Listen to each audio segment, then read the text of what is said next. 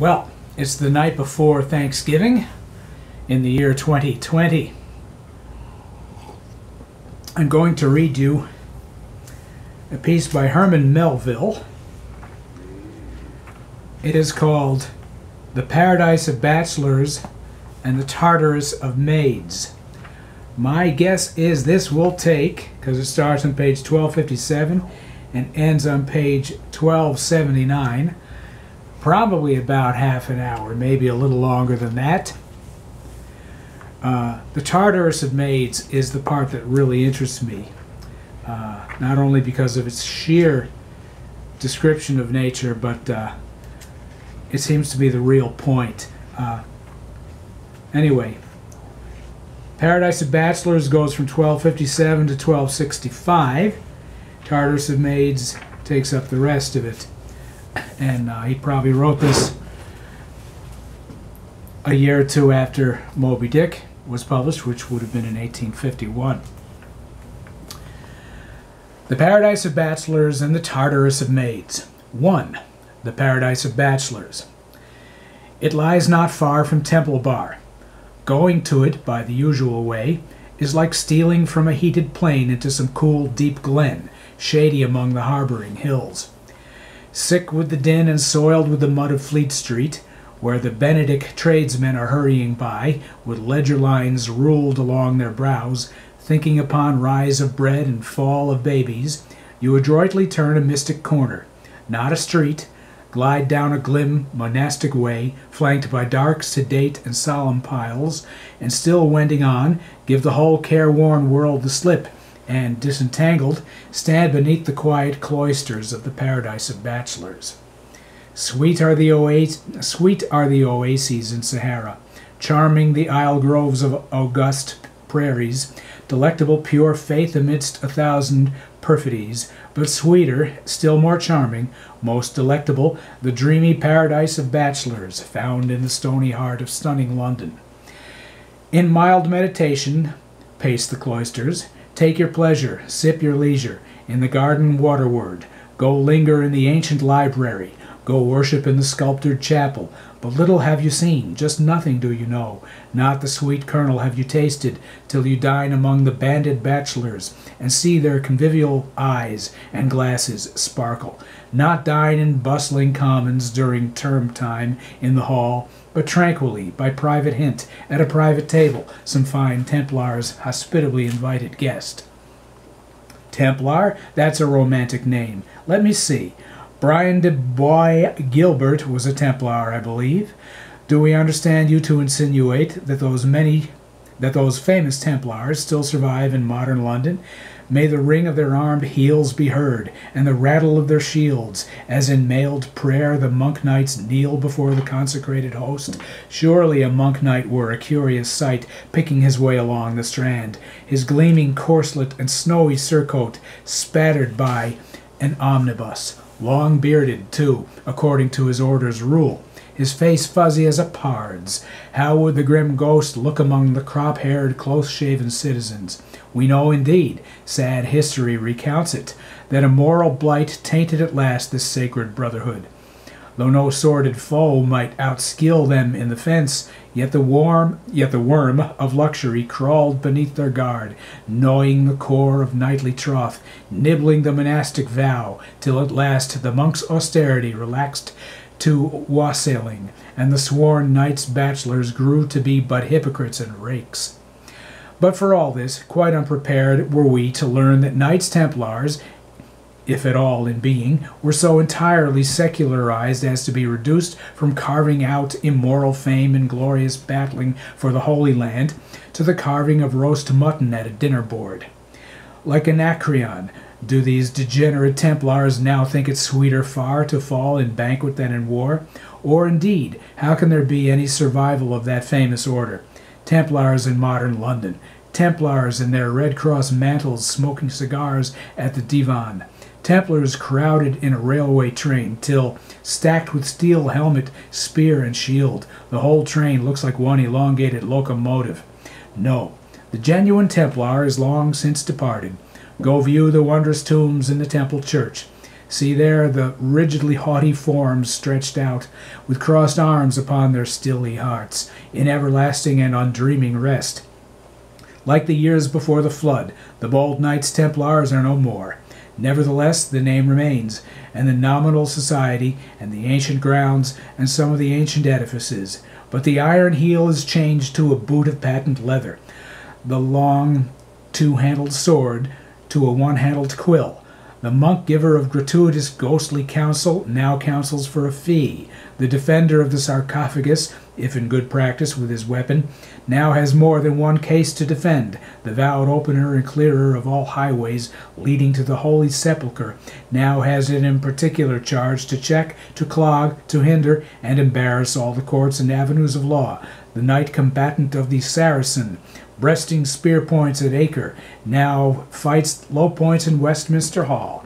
The helmet is a wig, struck by time struck by time's enchanter's wand. The Templar is today a lawyer but like many others, tumbled from proud glory's height, like the apple, hard on the bough but mellow on the ground. The Templar's fall has but made him all the finer fellow.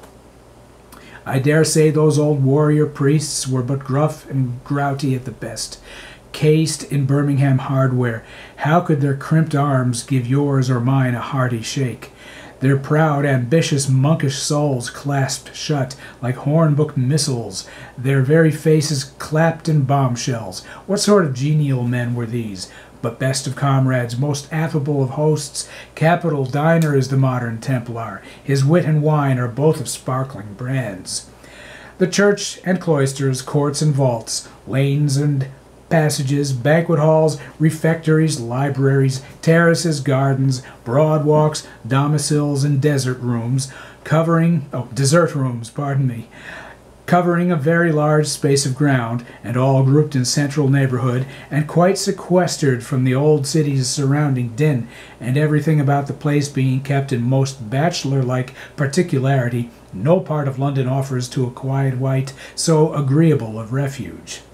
The temple is indeed a city by itself, a city with all the best appurtenances, as the above enumeration shows. A city with a park to it, and flower beds, and a riverside, the Thames flowing by as openly in one part as by Eden's primal garden flowed the mild Euphrates. In what is now the Temple Garden, the old Crusaders used to exercise their steeds and lances.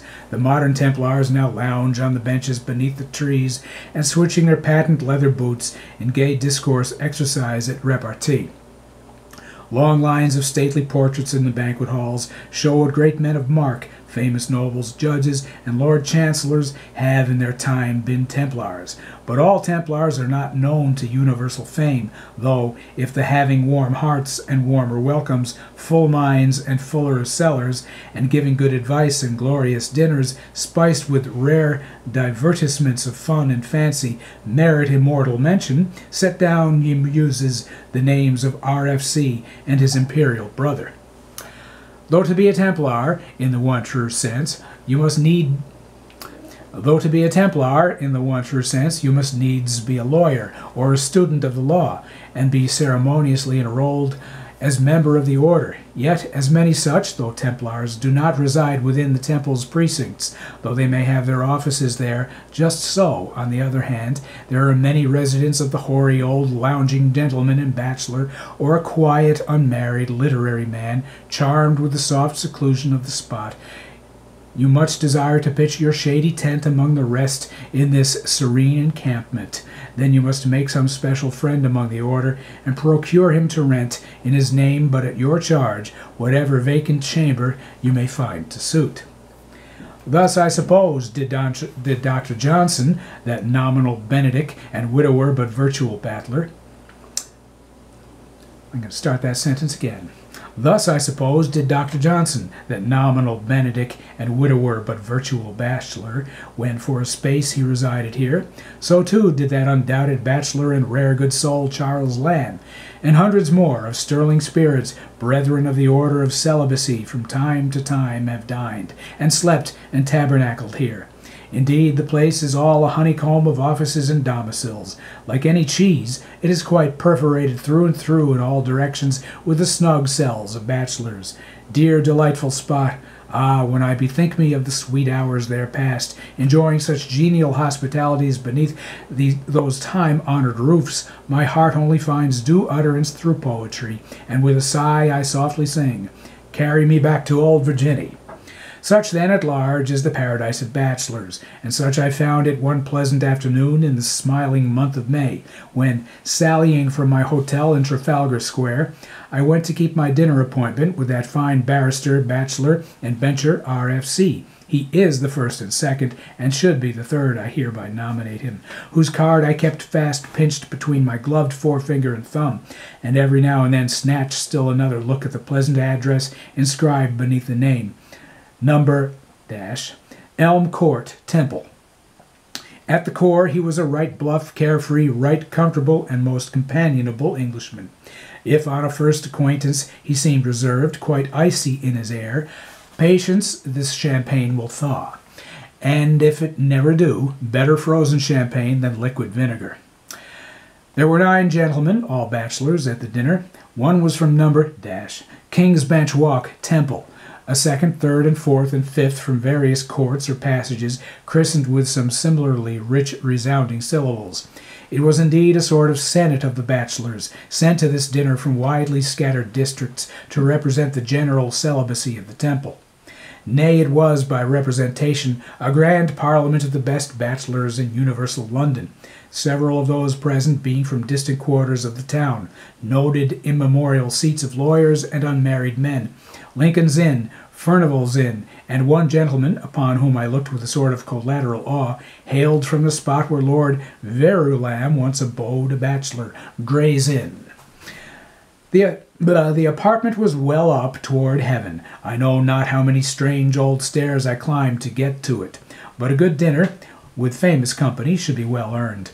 No doubt our host had his dining room so high, with a view to secure the prior exercise necessary to the due relishing and digesting of it.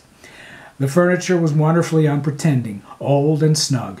No new shining mahogany, sticky with undried varnish, no uncomfortably luxurious ottomans and sofas too fine to use, vexed you in this sedate apartment.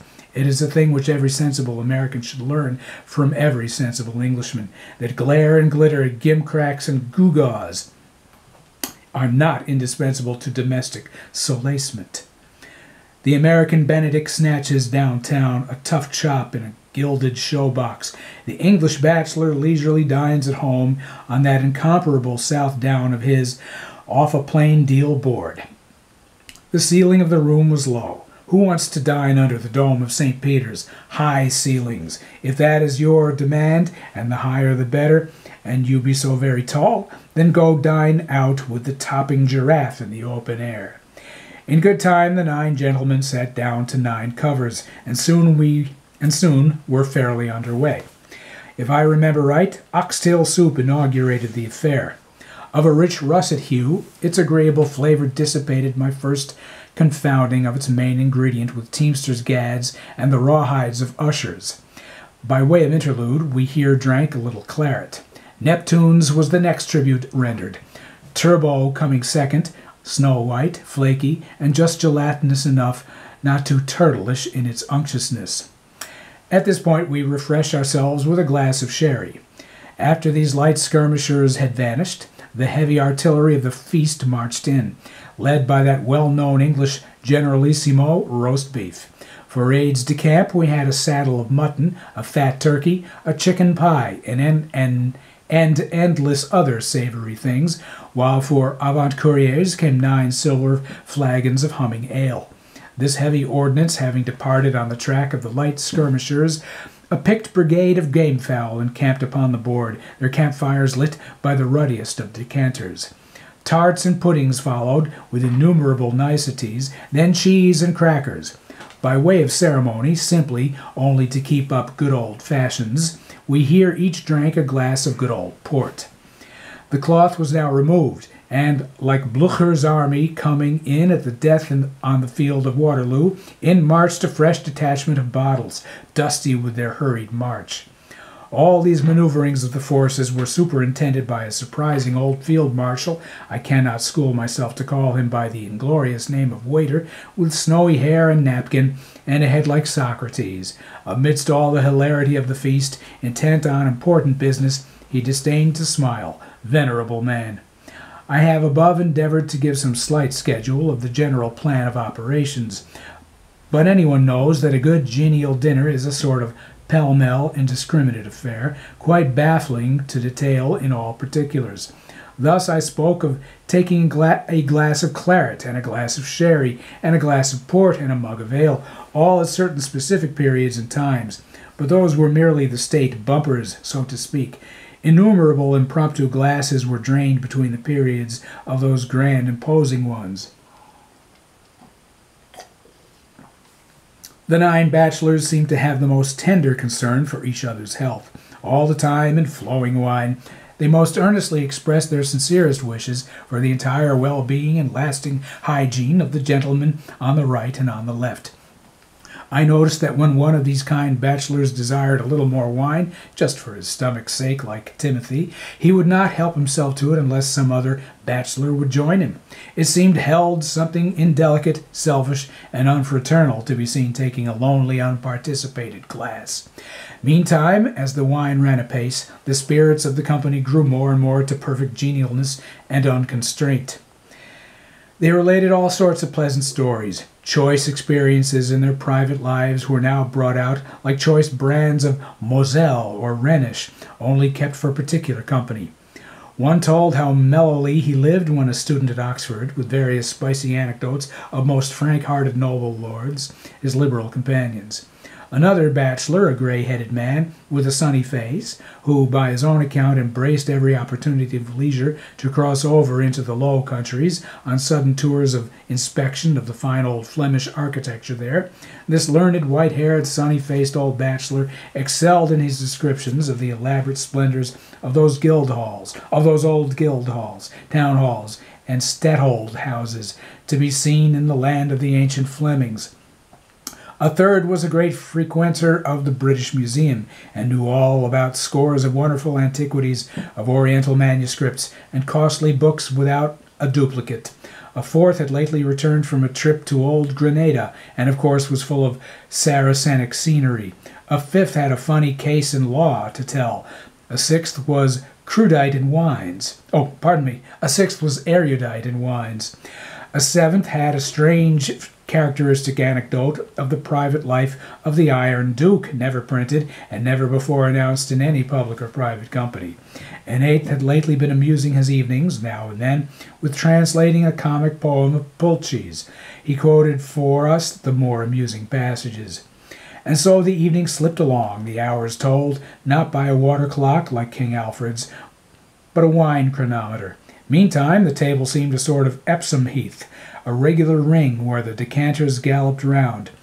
For fear one decanter should not with sufficient speed reach its, his destination, another was sent express after him to hurry him, and then a third to hurry the second, and so on with a fourth and fifth. And throughout all this, nothing loud, nothing unmannerly, nothing turbulent. I am quite sure, from the scrupulous gravity and austerity of his air, that had Socrates, the field marshal, perceived aught of indecorum in the company he served, he would have forthwith departed without giving warning. I afterward learned that during the repast, an invalid bachelor in an adjoining chamber enjoying his first sound refreshing slumber in three long weary weeks. Something's missing there. I afterward learned that during the repast, an invalid bachelor in an adjoining chamber enjoyed his first sound, refreshing slumber in three long, weary weeks. It was the very perfection of quiet absorption of good living, good drinking, good feeling, and good talk. We were a band of brothers. Comfort, fraternal household comfort, was the grand trait of the affair. Also, you could plainly see that these easy hearted men had no wives or children to give an anxious thought. Almost all of them were travelers, too, for bachelors alone can travel freely and without any twinges of their consciences touching desertion of the fireside. The thing called pain, the bugbear styled trouble, those two legends seemed preposterous to their bachelor imaginations. How could men of liberal sense, ripe scholarship in the world, and capacious philosophical and convivial understandings, how could they suffer themselves to be imposed upon by such monkish fables? Pain, trouble, as well talk of Catholic miracles. No such thing. Pass the sherry, sir. Pooh pooh, can't be. The sort, sir, if you please. Nonsense, don't tell me so. The decanter stops with you, sir, I believe. And so it went.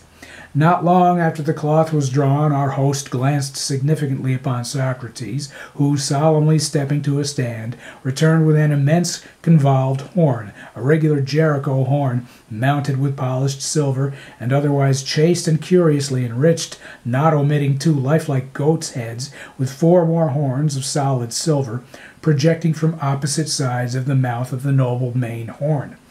Not having heard that our host was a performer on the bugle, I was surprised to see him lift this horn from the table as if he were about to blow an inspiring blast. But I was relieved from this, and set quite right as touching the purposes of the horn by his now inserting his thumb and forefinger into its mouth, whereupon a slight aroma was stirred up, and my nostrils were greeted with the smell of some choice râpé. It was a mull of snuff, it went the rounds. Capital idea, this, thought I, of taking snuff about this juncture. This goodly fashion must be introduced among my countrymen at home, further ruminated I. The remarkable decorum of the nine bachelors, a decorum not to be affected by any quantity of wine, a decorum unassailable by any degree of mirthfulness, this was again set in a forcible light to me by now observing that, though they took snuff very freely, not yet a man so far violated the proprieties or so far molested the invalid bachelor in the adjoining room as to indulge himself in a sneeze. The snuff was snuffed silently, as if it had been some fine and noxious powder brushed off the wings of butterflies. But fine though they be, Bachelors' dinners, like bachelors' lives, cannot endure forever. The time came for breaking up.